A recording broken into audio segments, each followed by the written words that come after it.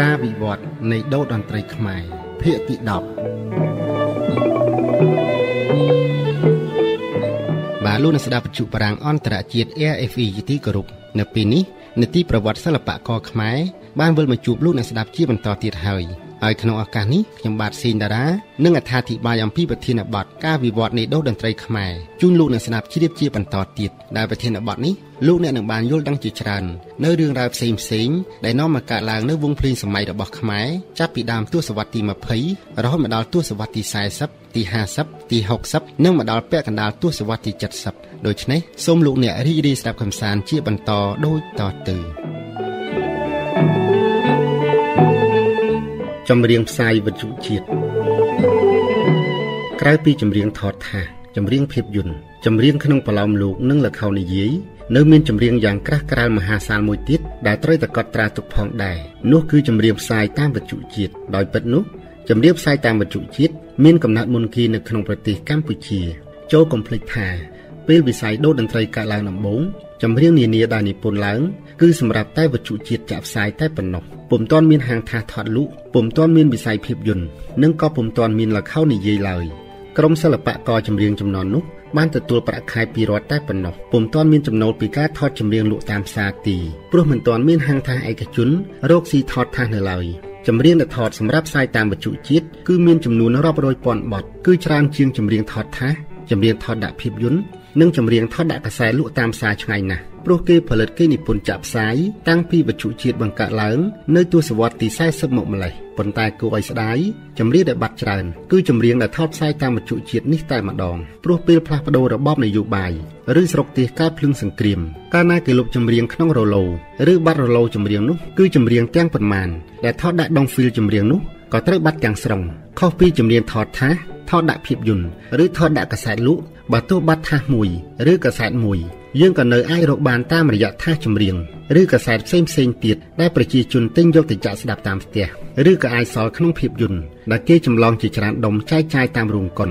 លើកលែងតែបទណាដែលថតផ្សាយតាមវិទ្យុជាតិហើយហើយត្រូវហាងថាឯកជនទិញសិទ្ធិយកទៅថតថាសលក់តាមផ្សារទើបបទនោះអាចមានវាសនានៅសល់រូបរាងដល់សពថ្ងៃចំ ពោះការគ្រប់គ្រងវិញចម្រៀងផ្សាយតាមវិទ្យុជាតិគឺជាកម្មសិទ្ធិរបស់រដ្ឋឬរបស់ជាតិព្រោះរដ្ឋបានចំណាយប្រាក់ខែឲ្យអ្នកចម្រៀងអ្នកភ្លេងនិងអ្នកនិពន្ធរួចហើយហាងថាសឬផលិតករភាពយន្តមិនអាចយកទៅថតថាសលក់ឬយកទៅដាក់ក្នុងខ្សែភាពយន្តតាមចិត្តឡើយបើគេចង់បានចម្រៀងពីវិទ្យុជាតិទៅថតថាសឬដាក់ក្នុងកុន គឺគេត្រូវទៅទិញកម្មសិទ្ធិបញ្ញាពីអ្នកនិពន្ធបទភ្លេងនិងទំនុកច្រៀងនៃបទនោះយកទៅថតឡើងវិញជាថ្មីទើបបានឬថៅកែហាងថាសខ្លះដែលមិនចង់ចំណាយលុយជួលអ្នកភ្លេងជួលអ្នកចម្រៀងនិងអ្នកដឹកនាំភ្លេងទៅប្រគំថតឡើងវិញគេយកបទដើមដែលថតផ្សាយតាមវិទ្យុជាតិនោះទៅថតជាថាសផ្ដាត់លក់តែម្ដងក៏មានបើគេបានទិញសិទ្ធិរួចហើយប៉ុន្តែបើនិយាយតាមច្បាប់ អ្នកនិពន្ធឬអ្នកចម្រៀងក៏ពុំមានសិទ្ធិដើម្បីលក់បទចម្រៀងដែលពួកគេបានច្រៀងបានប្រគំដើម្បីផលិតផ្ដល់ឲ្យវិទ្យុជាតិនោះទៅហាងថាសឯកជនបានដែរព្រោះពួកគេបានទទួលលាភឬប្រាក់ខែពីរដ្ឋរួចហើយអ្វីអ្វីគឺជារបស់រដ្ឋគឺរដ្ឋជាអ្នកគ្រប់គ្រងរដ្ឋអាចហាមឃាត់រឿងនេះបានតែដោយសាររដ្ឋយល់យោគដល់អ្នកនិពន្ធឬអ្នកចម្រៀងក៏ពុំដាល់សួរនាំរឿងនេះទី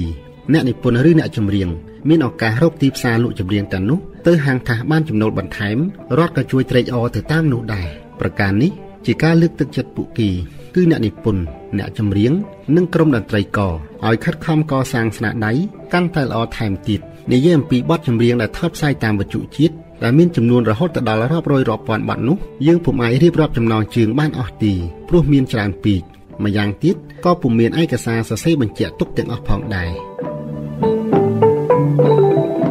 ការបោះពុំសៀវភៅចម្រៀងលោកនិយាយដល់អាជីវកម្មចម្រៀង គេឃើញថាចំនួននោះ មានច្រើនមធ្យោបាយដែលគេអាចរកលុយបាន ក្នុងនោះរួមមានថតថាសលក់ថតបញ្ចូលភាពយន្តនិងលក់ស្នាដៃឲ្យគេបោះពុំជាសភៅចម្រៀងលក់ជាដើមចំពោះការបោះពុំសភៅនេះ មិនមែនអ្នកបោះពុំចង់យកប័ណ្ណចម្រៀងណាមកបោះពុំស្រេចតែចិត្តទីគឺមានកិច្ចសន្យាទិញលក់ស្នាដៃត្រឹមត្រូវចំនួននោះអ្នកបោះពុំបានតាក់ទងទៅអ្នកនិពន្ធផ្ទាល់ឬតាក់ទងទៅអ្នកចម្រៀងតែម្ដងបើសិនអ្នកចម្រៀងនោះគឺជាម្ចាស់ស្នាដៃនិពន្ធទាំងបទភ្លេងនិងទំនុកច្រៀង ហហើយការតាក់ទងទិញអត្ថបទទំនុកច្រៀងនិងក្រដាសណោតភ្លេងមកបោះពុំគឺជួនកាលបទចម្រៀងចេញរួចទើបគេតាក់ទងទិញអត្ថបទទំនុកច្រៀងនិងក្រដាសណោតភ្លេងមកបោះពុំតាមក្រោយឬជួនកាលគេទិញទៅបោះពុំសៀវភៅជាមុនរួចទើបចេញចម្រៀងតាមក្រោយក៏មានចំនួននោះសម្បូរអ្នកអានណាស់ដូច្នេះហើយទើបសម្បូរអ្នកបោះពុំសៀវភៅលក់គឺទាំងសៀវភៅរឿងបឡោមលោកសៀវភៅរឿងកុនជារូបភាពនិងសៀវភៅចម្រៀងនេះជាដើមដូច្នេះហើយទើបគេឃើញថាជួនកាលលើសម្បត្តិថាចម្រៀងខ្លះ គេពុំឃើញមានឈ្មោះអ្នកនិពន្ធទី ប៉ុន្តែបែរជាឃើញនៅក្នុងសៀវភៅចម្រៀងទៅវិញរីឯចំណងជើងចម្រៀងជួនកាលខុសគ្នាក៏មានគឺលើសម្បកថាគេដាក់ចំណងជើងផ្សេងហើយក្នុងសៀវភៅចម្រៀងគេដាក់ផ្សេងក៏មាននេះគឺដោយសារជួនកាលគឺជាកំហុសរបស់អ្នកបោះពុំនិងជួនកាលកំហុសអ្នកសរសេរចំណងជើងលើថាសគឺសរសេរដោយមិនបានប្រយ័ត្នអ្នករៀបរៀងសៀវភៅលក់ចំនួននោះភាគច្រើនគឺជាអ្នករកស៊ីបោះពុំសៀវភៅរឿងបឡោមលោកនិងសៀវភៅផ្សេងផ្សេងទៀតក្នុងនោះរួមមានលោកសំសភ័យជាដើមដែលជាម្ចាស់បណ្ណាគារពោះមាសដ៏ល្បីល្បាញ ជាមួយគ្នានោះលោកញឹកសរិនលោកវ៉យហូនិងលោកទេពសុខុមដែលជាអ្នកនិពន្ធចម្រៀងលក់ផងនិងជាអ្នករត់ការថតថាចម្រៀងផងក៏បានរៀបរៀងសភៅចម្រៀងបោះពុំលក់ផងដែរគឺយកស្នាដៃរបស់ខ្លួនដែលនិពន្ធនោះមកបោះពុំនិងយកស្នាដៃរបស់អ្នកនិពន្ធផ្សេងផ្សេងទៀតដែលមានឈ្មោះល្បីលើទីផ្សារមកដាក់បញ្ចូលគ្នា តាមរយៈការទិញសិទ្ធិបតាមលោកហេជុនសេកដែលជាអ្នករត់ការថតចម្រៀងបានមានប្រសាសន៍ឲ្យដឹងថាចំនួននោះសភៅចម្រៀងដែលលក់ដាច់ជាងគី គឺសិភៅដែលជាស្នាដៃនិពន្ធបទចម្រៀងរបស់លោកវ៉យហូលោកវ៉យហូជាពាណិជ្ជករចម្រៀងលោករកស៊ីគ្រប់មុខផ្នែកតន្ត្រីគឺនិពន្ធចម្រៀងលក់ឲ្យហាងថាសផងនិពន្ធបញ្ចូលភាពយន្តផង និងនិពន្ធថតកាសែតរាល់ថ្ងៃផងក្រោយពេលដែលមានវត្តមានកាសែតមកដល់ស្រុកខ្មែរការងាររបស់កវីនេះសែនមហាមមាញឹកនិងពូកែរកស៊ីចម្រៀងលេខ1នៅចំនួននោះគឺលឹះគេលឹះឯងតែម្ដងអ្នកណាដែលថាមិនស្គាល់លោកវ៉យហូ រីឯអ្នកទិញស្នាដៃនិពន្ធរបស់លោកមានគ្រប់ទិសគឺទាំងផលិតករភាពយន្តមករកជួលលោកនិពន្ធចម្រៀងបញ្ចូលក្នុងកុនថៅកែហាងថាសមកទិញស្នាដៃនិពន្ធរបស់លោកទៅឲ្យអ្នកចម្រៀងល្បីល្បីច្រៀងដើម្បីផ្ដិតជាថាសលោកហើយក្នុងនោះអ្នកបោះពុំសភៅចម្រៀងលោកក៏បានមកទិញអត្ថបទទំនុកច្រៀងពីលោកយកទៅបោះពុំជាសភៅផងដែរហើយលោកថែមទាំងទៅតាក់ទងថៅកែថាសនានាឬអ្នកដែលចង់រកស៊ីថតថាសចម្រៀងលោកមកចូលហ៊ុនជាមួយលោកគឺគេមានលុយផលិតថាសឯលោក មានជំនាញនិពន្ធចម្រៀងលោកឲ្យជាប្រចាំជាក់ស្ដែងដូចជាហាងថាដ៏ធំឈ្មោះកម្ពុជាថាសរបស់លោកវ៉ាន់ច័ន្ទនិងហាងថាសឈ្មោះថាសមាសជាដើមដែលសុទ្ធតែសហការរកស៊ីជាមួយលោកវ៉យហូក្រៅពីនេះហាងថាសនានាក៏បាននាំគ្នាទិញស្នាដៃនិពន្ធចម្រៀងរបស់លោកទៅផ្តិតថាសលក់ព្រួងព្រាតដូច្នេះហើយទើបគេឃើញថាស្ទើរតែគ្រប់ហាងថាសចម្រៀងចំនួននោះសុទ្ធតែមានឈ្មោះលោកវ៉យហូជាអ្នកនិពន្ធឲ្យហើយនេះ ក៏ជាមូលហេតុដែលនាំឲ្យស្នាដៃរបស់លោកមានបរិមាណច្រើនជាងគេបង្អស់ក្នុងចំណោមអ្នកនិពន្ធនានាលោកវ៉យហូមានជីវភាពហឺហា មានលុយចាយពេញពេញដៃមានផ្ទះនៅសំរុំធ្វើខ្លួនស្អាតសង្ហានិងមានឡានទំនើបជិះបដូរគ្រប់ម៉ូដខុសពីអ្នកនិពន្ធខ្លះមួយជីវិតនៅតែផ្ទះជួលនិងជិះត្រឹមតែម៉ូតូប៉ុណ្ណោះនិងជិះត្រឹមតែម៉ូតូប៉ុណ្ណោះឬបើមានឡានជិះក៏ឡាននោះមិនមែនជារបស់ផ្ទាល់ខ្លួនទីគឺជាឡានរបស់រដ្ឋដែលខ្លួនធ្វើការតាមអង្គភាពឬក្រសួងនោះ ឈ្មោះលោកបយហូល្បីទូទាំងប្រទេសអ្នកណាក៏ស្គាល់ទាំងអ្នកស្ដាប់ធម្មតាផលិតករភាពយន្តតួកុនមន្ត្រីរាជការសិស្សនិស្សិតនិងព្រះសង្ឃផងសុទ្ធតែល្បីឈ្មោះលោកវយហូគ្រប់គ្រប់គ្នា កាលនោះស្នាដៃនិពន្ធចម្រៀងរបស់លោកវ៉យហូភាគច្រើនត្រូវបានលោកលីថៃលីជាអ្នកទិញសិទ្ធិយកទៅបោះពុំទាំងអស់ដោយដាក់ចំណងជើងលើក្របសភៅទំព័រមុខថាចម្រៀងមិត្តយើងនិងរំលេចរូបថតលោកវ៉យហូលើសភៅគ្រប់គ្រប់ភាគផងនេះហើយគឺកម្ពុជាពាណិជ្ជករចម្រៀងដ៏ចំណាននិងឆ្លៀសវៃដែលពុំមានអ្នកណាអាចមកប្រជែងបានហើយបានធ្វើឲ្យតន្ត្រីករខ្លះលួចច្រណែននឹងកេរ្តិ៍ឈ្មោះរបស់លោកទៀតផង thank you